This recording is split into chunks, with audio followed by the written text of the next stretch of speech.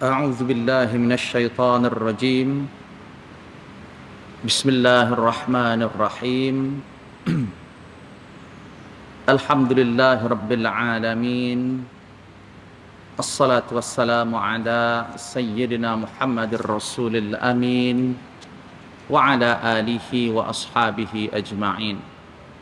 اللهم رب اشرح لنا صدورنا ويسر لنا أمورنا واحلل عقدة من ألسنتنا تفقه أقوالنا اللهم إنا نعوذ بك من علم لا ينفع ومن قلب لا يخشع ومن نفس لا تشبع ومن دعوة لا يستجاب لها قال الله تعالى في القرآن العظيم أعوذ بالله من الشيطان الرجيم يا أيها الذين آمنوا اتقوا الله حق تقاته ولا تموتن إلا وأنتم مسلمون. صدق الله العظيم. وقال النبي صلى الله عليه وسلم من خرج في طلب العلم وهو في سبيل الله حتى يرجع أو كما قال النبي صلى الله عليه وسلم.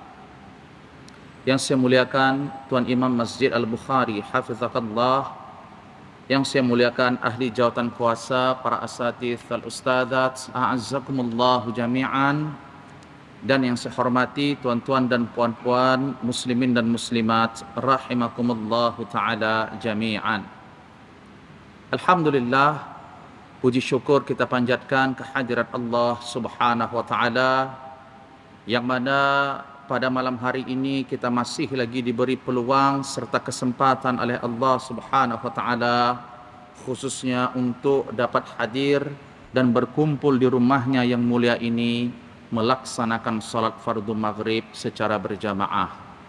Dan marilah kita memohon dan berdoa serta bermunajat kepada Allah Subhanahu wa taala agar setiap ibadah yang kita laksanakan terutamanya salat fardu maghrib yang baru sahaja ditunaikan.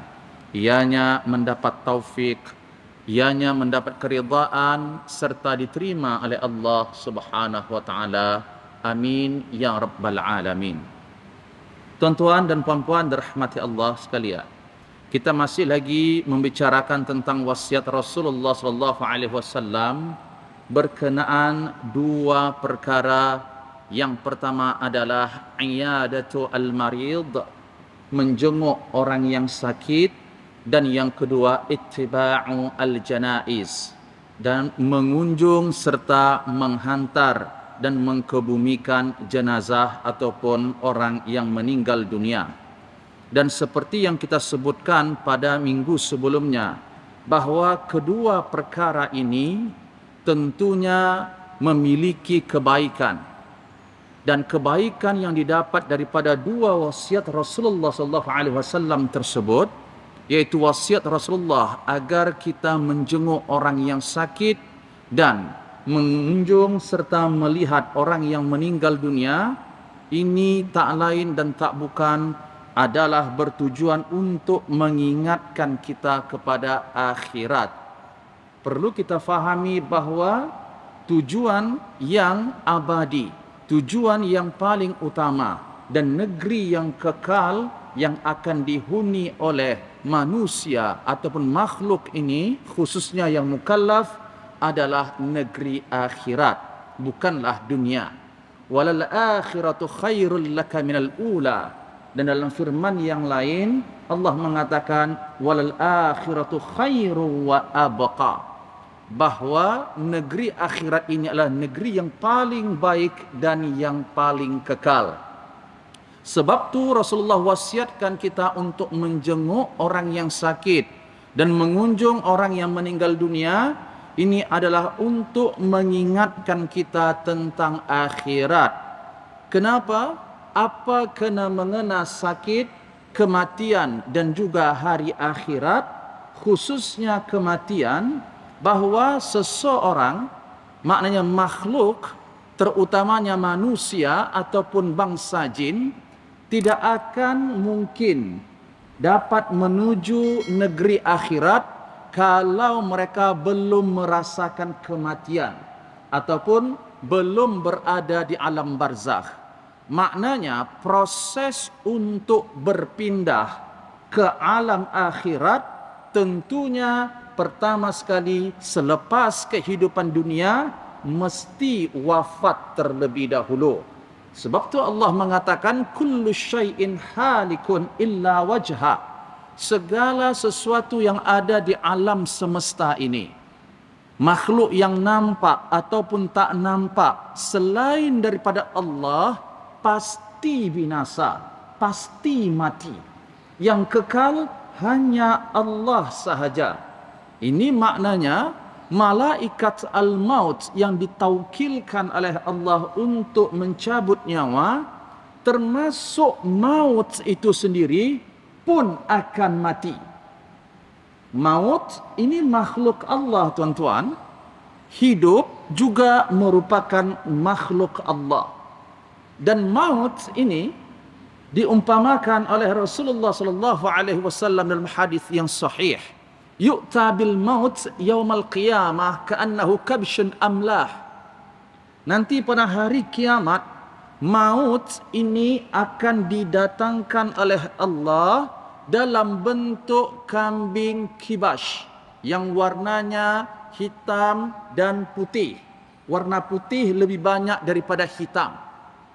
Ini yang akan digambarkan nanti oleh Allah maut pada hari kiamat thumma yudha ala sur. Dan ketika Allah datangkan maut pada hari kiamat nanti ia akan berada di atas pagar ataupun di atas satu tempat. Yaitu di antara syurga dan juga neraka.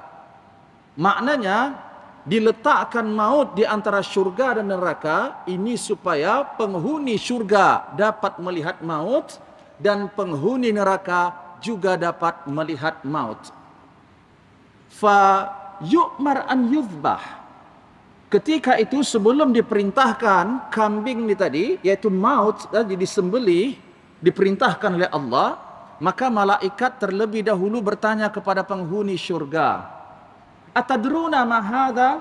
Wahai penghuni syurga kata malaikat kamu kenai tak? Kamu tahu tak apa binatang ni? Apa makhluk ni? Fa yanzuruna Kemudian mereka melihat dan mereka meninggikan leher mereka. Maknanya ahli syurga tadi dia nak tengok betul. Oh, na'am. Hadza al-maut. Kami kenal. Kata penghuni syurga, ini adalah maut. Kemudian ditanya kepada ahli neraka, wahai ahli neraka, hal tadruna ma hadza? Kamu tahu tak apa benda ni? Naam, hadza al-maut. Ya, kami kenal dan tahu. Ini adalah maut thumma yu'mar an yuzbah. Pada saat itu Allah perintahkan malaikat tadi untuk menyembelih maut tersebut. Apabila maut yang dalam bentuk kambing kibas tadi sudah disembelih, sudah mati, maka malaikat pun menyeru kepada penghuni syurga. Bushra lakum. Wahai penghuni syurga, berbahagialah anda semua. La maut ba'da hadza selepas kami diperintahkan oleh Allah menyembelih maut ni tak ada lagi makhluk yang akan merasakan mati selepas disembelih maut ni. Begitu juga penghuni neraka. Rasakan kepedihan yang abadi kata malaikat. Karena sesakit apapun sedahsyat apapun azab yang kamu terima di dalam neraka tidak akan berakhir dengan kematian. Sebab mati sudah tak ada dah. Allahu Akbar. Jadi, tuan-tuan dirahmati Allah. Kenapa Rasulullah pesan dua wasiat ni? Untuk mengingatkan kita alam akhirat. Alam akhirat, alam yang pasti akan dilalui oleh seluruh makhluk. Bukan hanya mukallaf, manusia dan jin termasuk juga binatang. Jadi tuan-tuan yang dirahmati Allah, Rasulullah pernah mengatakan dalam satu hadis yang diriwayatkan oleh Uthman ibn Affan bahawa al-qabru awal manazil al-akhirah. Kubur yaitu alam barzakh ini adalah mula-mula rumah, mula-mula tempat tinggal yang akan menyampaikan manusia ini ke alam akhirat. Maknanya sebelum nak sampai ke negeri akhirat, maka terlebih dahulu makhluk hidup ini, khususnya manusia dan jin, perlu melalui proses yaitu di alam barzakh.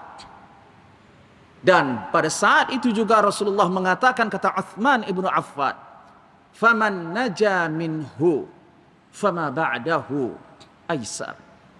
Sesiapa yang dimudahkan oleh Allah di alam barzakh ini, maknanya siapa yang Allah mudahkan semua urusannya, termasuklah ketika disoal dan ditanya oleh malaikat mungkar dan nakir mudah dia menjawab soalan tersebut.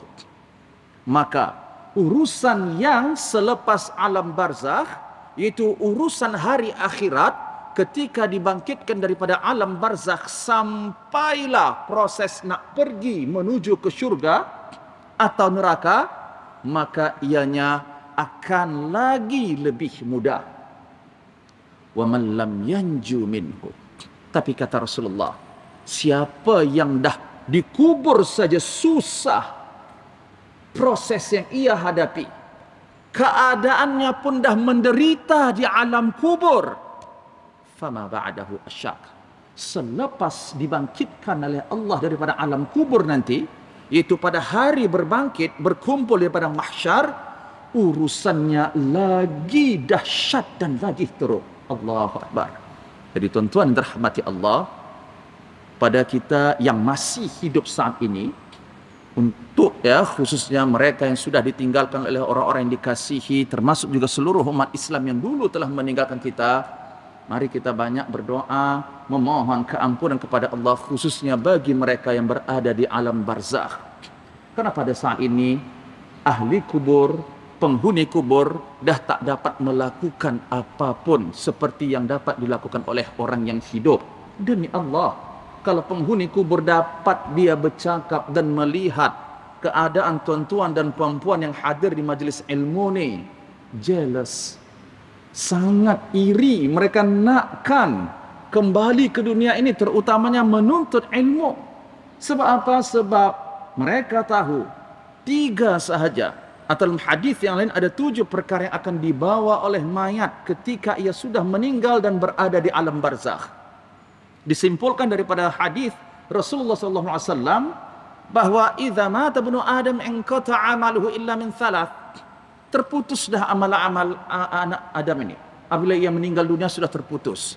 Yang tidak terputus maknanya masih lagi ada proses pahala tadi mengalir kepada hamba tu walaupun dia sudah meninggal. Sebelum berlaku hari kiamat tu maksudnya. Tiga perkara dan ini saya yakin anda semua tahu. Yang pertama sadaqatin jariyah sedekah jariah. Kalau dulu di dunia dia rajin bersedekah dan sedekah itu sifatnya adalah jariah, insya-Allah. Yang kedua, ni majlis ilmu. Ilmun yuntafa'u bih. Ilmu yang dia manfaatkan. Apa yang dimaksud dengan ilmu yang dimanfaatkan? Ilmu yang dia pelajari, ilmu yang dia amalkan dan ilmu yang ia sebar luaskan. Kemudian yang ketiga waladun saleh yad'ulah anak yang soleh yang mendoakan bagi orang tua yang sudah meninggal dunia. Jadi tuan-tuan yang dirahmati Allah bahawa khususnya perkara yang pertama sakit ini merupakan ibtila, ini merupakan ujian daripada Allah Subhanahu wa taala. Maknanya sakit ataupun penyakit yang dialami oleh mana-mana manusia ini merupakan ujian daripada Allah. Dan apabila kita mengenal ataupun apabila kita faham bahawa ianya ujian dan ujian ini tentunya tanda serta bukti Allah sayang dan kasih kepada hamba itu. Ini berdasarkan hadis yang disebut oleh Rasulullah sallallahu alaihi wasallam, "Innallaha idza ahabba 'abdan ibtalahu." Allah Subhanahu wa taala kalau sayang kepada mana-mana hambanya pasti Allah akan menguji hamba tersebut. Dan ujian ini tuan-tuan dirahmati Allah kalau disimpulkan ada dua bentuk ujian manusia. Yang pertama ujian dalam bentuk nikmat dan kesenangan. Yang kedua ujian dalam bentuk kesukaran, kepayahan termasuklah juga penderitaan. Dan pada hakikatnya manusia yang Allah ciptakan di atas muka bumi ini adalah ditugaskan untuk diuji.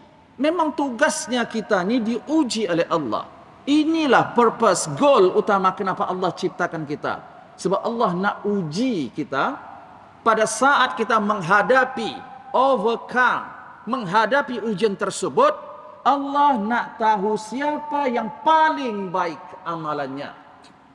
Sebab tu Allah mengatakan dalam surah Al-Mulk ayat yang kedua, "Allazi khalaqal mauta wal hayata liyabluwakum ayyukum ahsanu amala." Bahawa Allah yang telah menciptakan hidup dan mati. Ini juga dalil yang mengatakan bahawa mati tadi adalah makhluk Allah, hidup juga adalah makhluk Allah. Kenapa Allah ciptakan hidup dan mati? Liyabluwakum lam at-ta'lil. Tujuan utama Allah hidupkan kita di dunia ini dan Allah matikan kita berada di alam barzakh tak lain dan tak bukan adalah untuk ibtila untuk menguji kamu semua. Apa yang Allah nakkan daripada ujian tu? Result apa yang Allah nakkan daripada ujian tu? Maknanya Allah nak di sini bukan bermakna kalau belum diuji Allah tak tahu. Sebelum kita diciptakan oleh Allah Allah tahu dah apa yang berlaku, yang akan dan yang sudah berlaku dan yang sedang berlaku kepada makhluk tu. Sebelum Allah uji, Allah tahu dah apa pengakhiran kita. Jadi kalimat nak di sini jangan anggap seperti makhluk. Dah berlaku keadaan tu baru tahu. Natijahnya Allah tidak seperti itu. Karena sifat ilmu Allah ini kadim, azali. Makna kadim di sini adalah sedia ada tidak bermula daripada jahil, tidak bermula daripada tak tahu. Ini sifat Allah yang tiada pengakhiran serta batasannya. Allah uji manusia ini tadi melalui hidup dan mati. Sebab tu ujian hidup sama ada senang ataupun susah, sehat ataupun sakit. Yang Allah nakkan daripada ujian ini apa? Ayyukum ahsanu amala. Siapa di antara kamu yang paling bagus amalannya? Allah tak sebut di dalam ayat ini ayyukum aktsaru amala. Siapa yang paling banyak amalannya? Allah mention dalam ayat ini siapa yang paling bagus amalannya. Ini bermakna mereka yang melakukan amalan yang banyak ataupun sedikit belum tentu amalan dilakukan itu tadi berkualiti baik ataupun bagus di sisi Allah. Dan apa makna bagus amalan di sini? Kata Al-Fudail bin Iyad, ini berdasarkan daripada tafsir Al-Qurtubi adalah aswabukum wa akhlasuhu amalan yang paling benar dan yang paling ikhlas. Inilah yang dimaksud dengan amalan yang paling benar. Maknanya Allah ketika menguji kita pada saat hidup. Menguji apa? Menguji kita melalui kesukaran, penderitaan, penyakit dan lain sebagainya. Maka Allah nak lihat adakah hamba ini pada saat menerima ujian tersebut ia mengamalkan seperti mana yang diajarkan oleh Rasulullah? Adakah ia reda dan ikhlas menerima ujian tersebut? Karena ini natijah yang akan didapat oleh hamba dan ini yang akan dilihat oleh Allah. Begitu juga ketika manusia diuji dengan kesenangan, adakah mereka menghadapi kesenangan dan nikmat tersebut mengikut seperti mana diajarkan oleh Rasulullah atau dia ikut dan kepala dia saja. Ketika menerima nikmat dan kesenangan daripada Allah. Ketika menerima nikmat sehat daripada Allah. Dan adakah ia reda serta ikhlas ketika menjalankan amanah ataupun nikmat yang diberi oleh Allah? Kesimpulannya ujian penderitaan sakit dan susah. Allah nak menilai hamba ini siapa yang paling sabar. Siapa yang paling rida siapa yang siapa yang paling bersabar ketika menghadapi ujian? Yang kedua kenapa nikmat dan kesenangan tadi juga merupakan ujian? Karena melalui nikmat serta kesenangan yang Allah berikan Allah nak tahu siapakah manusia yang paling bersyukur kepadanya. Sebab tu hati-hati tuan-tuan belum lagi kita bicara nikmat anak harta benda. Nikmat yang Allah bagi pada diri kita. Anda diberi nikmat saat ini umur anda 40 tahun, umur saya 40 tahun, 50 tahun, 60 tahun, 30 tahun. Setiap tahun, setiap detik yang kita lalui dan pada saat itu kita menggunakan nikmat yang Allah bagi, nikmat melihat, nikmat dapat berfikir, nikmat berjalan, nikmat memegang, nikmat makan dan lain sebagainya. Adakah nikmat itu kita gunakan untuk bersyukur kepada Allah? Akan ditanya. Itulah maksudnya yaum al-hisab. Sebab tu Nabi mengatakan lantazul qadama ibni Adam. Takkan bergerak kedua kaki anak Adam pada hari kiamat kelak tidak menuju ke syurga dan tidak menuju ke neraka sehingga ia lepas empat soalan tentang umur mudanya tentang umur dia ditanya oleh Allah sepanjang hidup tu apa yang dia gunakan umur tersebut tersebut. Yang kedua tentang waktu sehat dan mudanya ditanya oleh Allah. Yang ketiga ditanya tentang hartanya. Dan yang keempat ditanya tentang ilmu yang ia dapat dan ia pelajari. Jadi tuan-tuan, sakit merupakan ujian daripada Allah Subhanahu wa taala untuk hambanya yang ada di dunia ini. Yang mana melalui ujian tersebut Allah nak memberikan pahala yang begitu besar kepada hamba ini tadi khususnya pahala ini akan mereka dapat bila pada hari akhirat kelak. Itu yang Nabi kata, jenguk lawatlah orang sakit. Karena kebaikan melawat orang sakit, salah satunya adalah mendapat pahala yang begitu besar daripada Allah pada hari kiamat. Untuk siapa? Bukan hanya untuk yang menjenguk, termasuk juga si pesakit itu sendiri. Allah mengatakan dalam firman-Nya, surah Al-Baqarah ayat 155, A'udzubillahi minasyaitonirrajim. rajim walanabluwannakum bisyai'im minal khawfi wal ju' wa naqsim minal amwali wal anfusi wal thamarat. Wa al-sabirin, sadaqallahul azim. Dan pasti akan kami uji kamu. Kata kata Allah Subhanahu wa taala lanabluwanna dua ada takkid. Maknanya dua ayat di dalam firman Allah ni dua huruf lam dan nun taukid lab nuwannakum wala nabluwannakum ni lam takkid betul-betul. Maknanya pasti kami uji kamu semua wahai hambaku kata Allah. Bisyai'in minal khauf diuji dengan rasa takut rasa bimbang. Takut apa?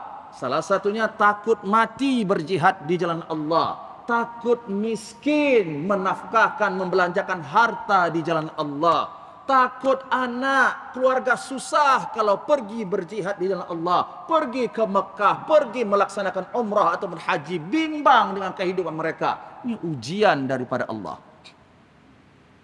Wal dan juga Allah akan uji manusia ini dengan lapar.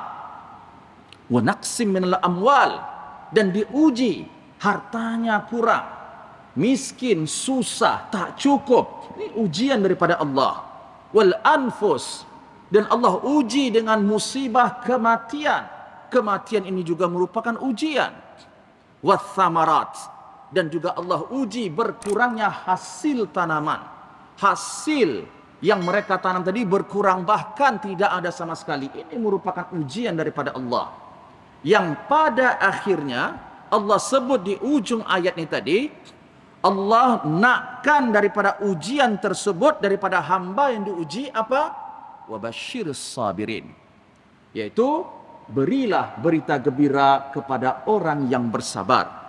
Beritahu wahai Muhammad kepada hamba-hambaku yang bersabar ketika diuji sakit, ketika diuji kurang harta, ketika diuji dengan rasa risau, takut, bimbang dan lain sebagainya. Kenapa? Karena innama yuwaffa as-sabirun. Bahwasanya pahala khususnya bagi orang yang bersabar ini hanya Allah saja yang tahu. Sebab Allah yang akan menyempurnakan pahala orang-orang bersabar bi ghairi hisab. Mana tanpa kita dapat expectation macam mana amalan tu ataupun kesabaran itu besar pahalanya.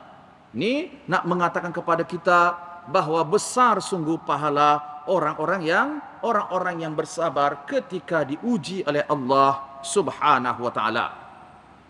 Dan dalam satu hadis riwayat Imam Ahmad di dalam musnadnya Rasulullah mengatakan idza batalallahu al abda al muslim apabila Allah menguji hambanya yang Islam hambanya yang beriman bibalain dengan satu ujian melalui jasadihi melalui fizikal dan jasadnya. Maknanya apabila Allah uji satu hamba tu contohnya dengan Allah tarik sebahagian nikmat yang ada pada tubuh badannya, apakah itu buta, apakah itu tangannya luka dan lain sebagainya, maka pada saat itu Allah Subhanahu wa taala berfirman, "Uktub lahu salih amali." Allah perintahkan malaikat catat baginya amalan-amalannya yang soleh.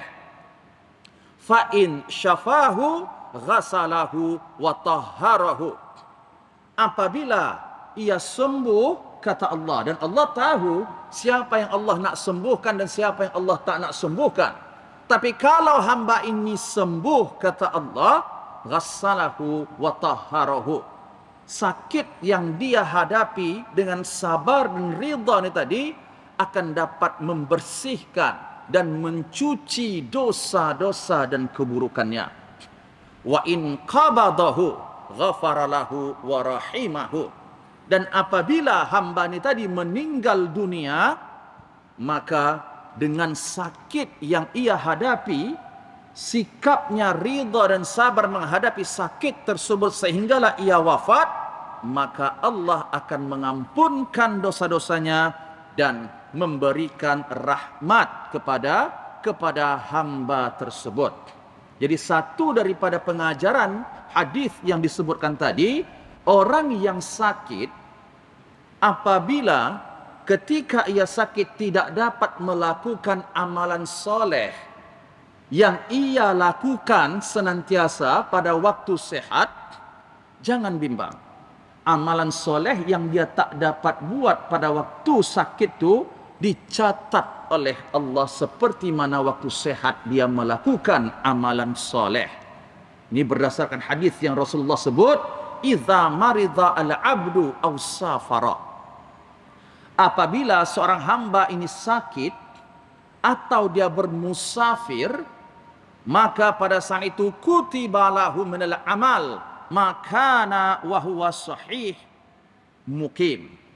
Maka pada saat dia sakit ataupun bermusafir akan dicatat baginya oleh Allah Subhanahu wa taala amalan-amalan khususnya yang sunnah yang ia lakukan pada waktu sehat dan pada waktu ia mukim di kampung ataupun di tanah airnya.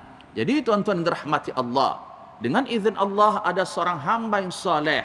Contohnya diuji oleh Allah dengan tidak boleh bergerak tapi masih ada kesedaran ini bukan bermakna dia tidak perlu melaksanakan yang fardu. Solat fardu tetap diwajibkan selagi ada taklif. Tapi dia tak mampu untuk melaksanakan solat sunnah yang biasa ia lakukan. sunnah qabliyah rawatib, sunnah ba'diyah dan sunnah-sunnah yang lainnya. Jangan bimbang. Allah catat sepanjang dia sakit itu sama seperti dia sehat. Sebab tu perhatikan pada waktu kita sehat tuan-tuan dan puan-puan rahmati Allah. Rajin tak kita melakukan amalan-amalan yang sunnah. Karena akan ada tiba masanya kita sibuk dan tidak dapat melakukan amalan yang selalu kita lakukan.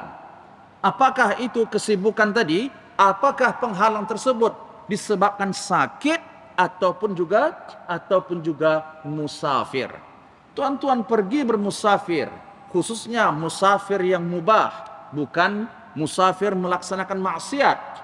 Pada saat musafir itu tak dan nak buat solat sunnah sama ada duhanya, qabliyahnya, ba'diyahnya karena kekangan masa dan juga condition ataupun kondisi maka ketika anda musafir itu dicatat oleh Allah amalan seperti mana yang anda lakukan ketika anda tidak bermusafir ketika anda ketika anda bermukim jadi tuan-tuan yang dirahmati Allah bahawa penyakit ataupun sakit ini merupakan ujian daripada Allah.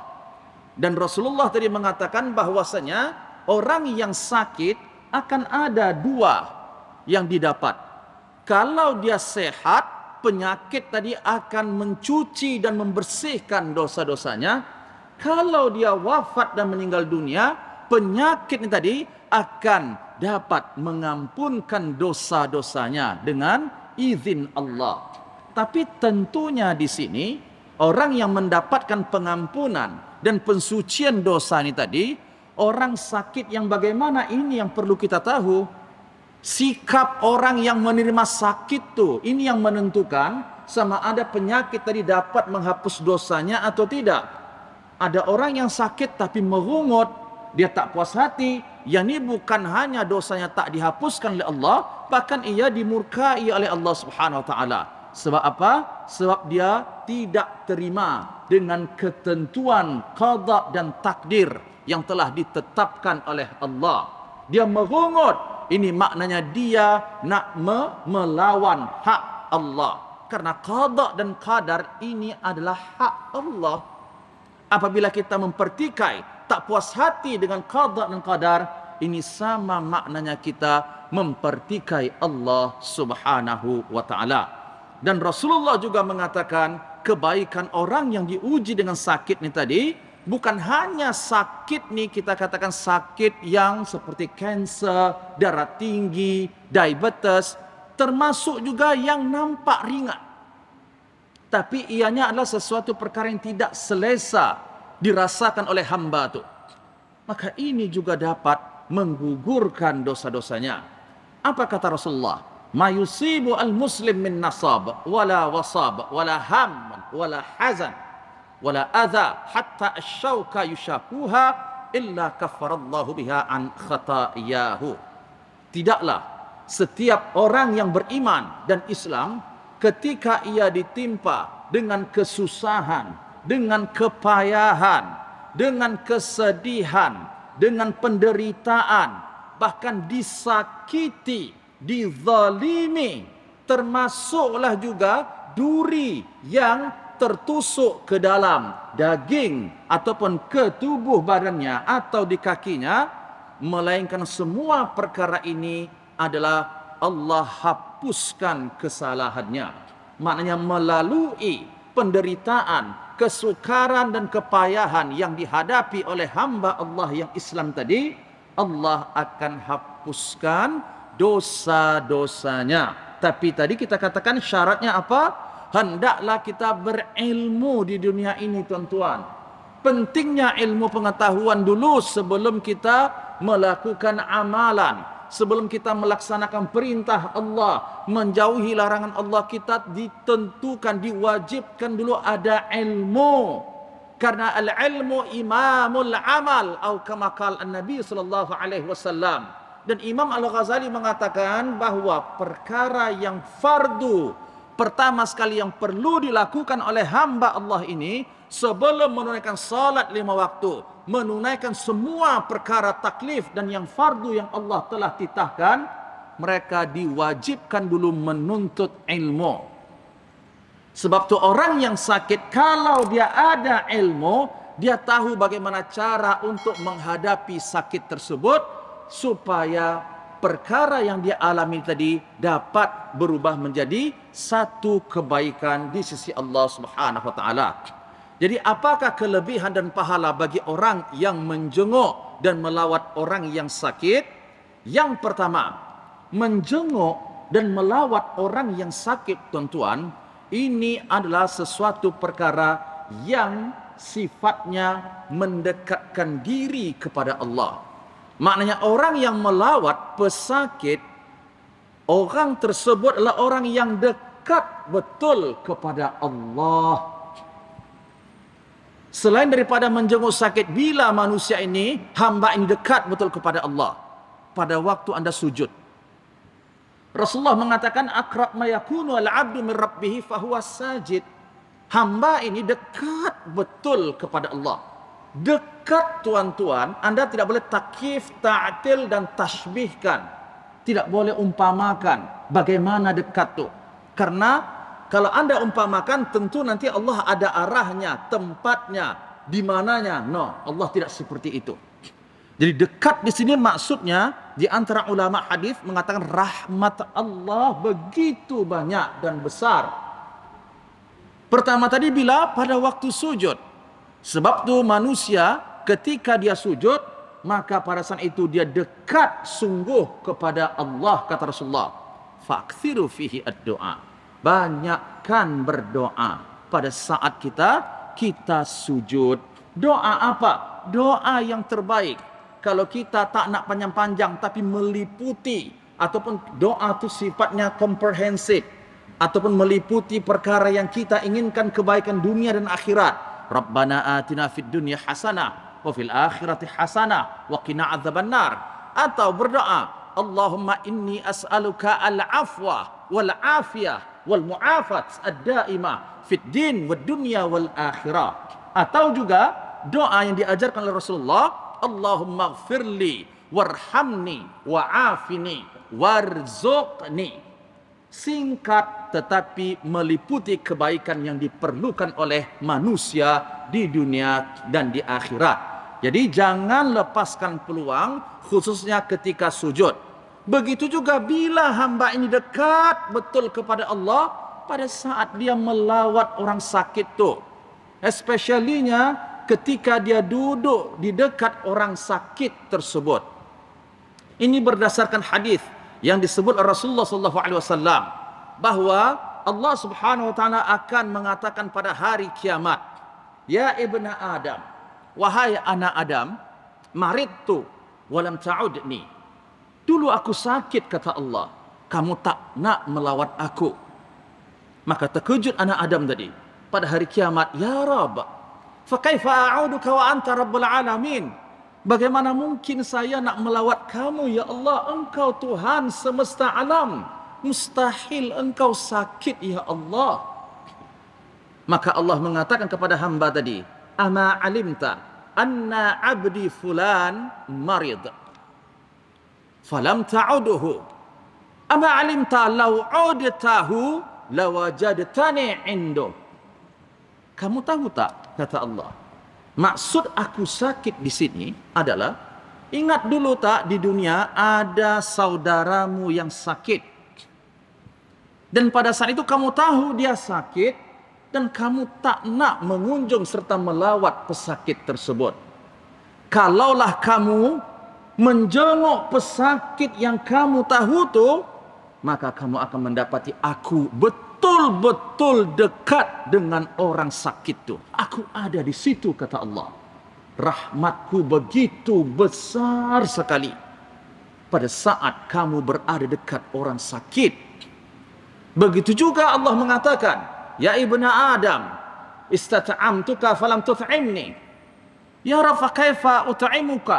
Wa anta rabbul alamin wahai anak adam dulu aku pernah minta makan kepadamu tapi kamu tak nak bagi aku makan. Ya Allah bagaimana mungkin engkau perlu kepada makan? Sementara engkau adalah Tuhan semesta alam ya Allah. Bukan aku yang nak minta makan maksudnya kata Allah. Ama alimta anna abdi fulan istat'amaka falam tut'imhu ama alimta law at'amtahu lawajadtani indahu bukan saya nak minta makan tu. Maksudnya kiasannya kata Allah ingat tak dulu ada di antara hambaku yang minta tolong kepadamu? Khususnya mereka kurang duit kurang makan minta makan kepadamu. Tapi kamu buat tak tahu sahaja. Allahu Akbar. Macam-macam sudah ya teknologi dan kemudahan yang telah Allah bagi. Kita banyak dapat sekali ya daripada advertisement ataupun kita katakan iklan bagaimana saudara-saudara kita di Yaman, di Palestin, di Syria, khususnya dalam bab perut sahaja tuan-tuan. Dalam bab menghulurkan bantuan untuk memberi makan kepada mereka. Kanak-kanak yang kelaparan bahkan kita nampak makan rumput Allahu Akbar. Yang sesuatu yang tidak sepatutnya dimakan oleh manusia. Ini maksudnya secara tak langsung mereka minta tolong. Bukan maknanya mereka minta tolong kepada makhluk, mereka minta tolong kepada Allah dan Allah uji hambanya yang tak diuji susah itu. Itu ujian bagi kita. Ingat, mereka yang diuji susah tak makan itu bukan mereka sahaja yang diuji sebenarnya. Orang yang ada harta benda pun diuji bagaimana sikap kamu terhadap orang-orang yang perlu kepada makan tersebut. Tidakkah kita takut ketika membaca firman Allah Subhanahu wa taala ara'aita allazi yukadzibu bid-din? Fadzalika allazi yad'ul yatim wa la yahuddu ala ta'amil miskin. Kamu tahu tak siapa pendusta agama? Kata Allah. Pendusta agamaku adalah yang pertama menyia-nyiakan anak yatim. Ramai anak yatim umat Islam yang orang tuanya terbunuh sama ada terbunuh syahid dan lain sebagainya. Sehingga mereka melarikan diri di tempat-tempat yang mereka pun tak tahu. Kemudian yang kedua pendusta agama ini kata Allah, mereka yang tidak mahu memberi makan orang miskin. Allah tidak sebut orang miskin di sini yang di Malaysia sahaja tuan-tuan. Siapa sahaja hamba Allah yang miskin di dunia ini yang kita tahu. Itu maksudnya. Jangan berfikir bahwa orang miskin ya orang miskin yang di sebelah rumah saya, depan rumah saya atau orang miskin yang ada di negeri Kedah. Bukan. Karena umat Islam bukan hanya di Kedah sahaja. Umat Islam ada di atas muka bumi Allah. Di seluruh dunia. Mana yang kita tahu? Mereka yang Islam dan miskin inilah maksudnya. Pada saat mereka memerlukan makan dan bantuan. Kita buat-buat tak tahu maka ingat al jaza min jinsil amal. Akan ada balasan yang sama diterima oleh hamba. Dulu kamu buat-buat tak tahu tak nak menolong orang yang susah nanti pada hari akhirat kita perlu sangat kepada pertolongan Allah. Allah pun buat-buat tak tahu juga. Sama seperti yang kita lakukan kalau kita mati dalam keadaan tidak memperbaiki diri dan bertaubat kepada Allah Subhanahu wa taala jadi kelebihan yang pertama tadi apa tuan-tuan dirahmati Allah?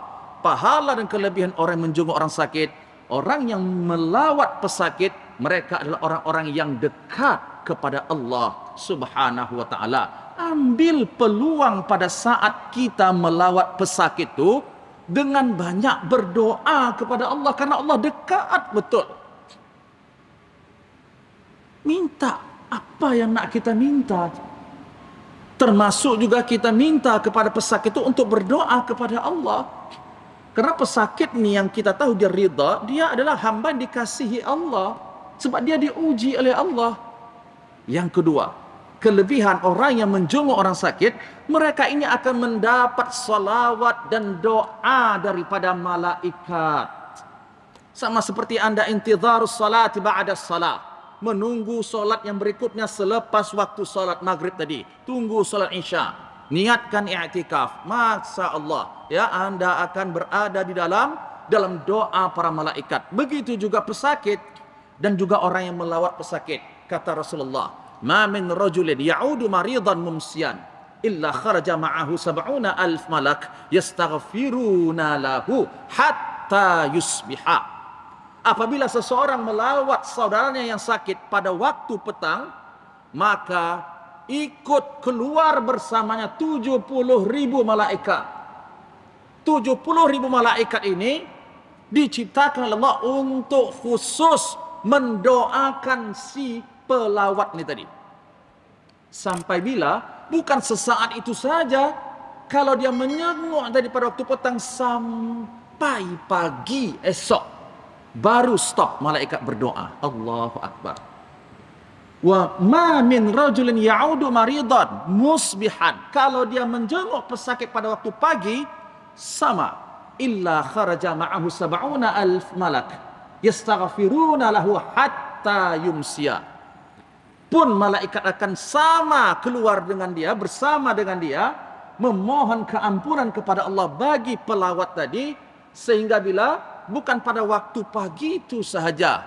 Sehinggalah masuk waktu sehinggalah masuk waktu petang. Jadi ini adalah kelebihan yang kedua bagi orang yang melawat pesakit.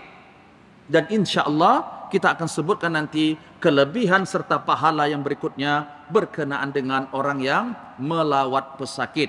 Dan jangan lupa fokus pembahasan utama kita dalam wasiat Rasulullah ini adalah dua. Yang pertama melawat pesakit dan yang kedua menjenguk dan juga mengunjung orang yang meninggal dunia. Ini yang akan kita bahas insya-Allah. Wallahu a'lam bissawab.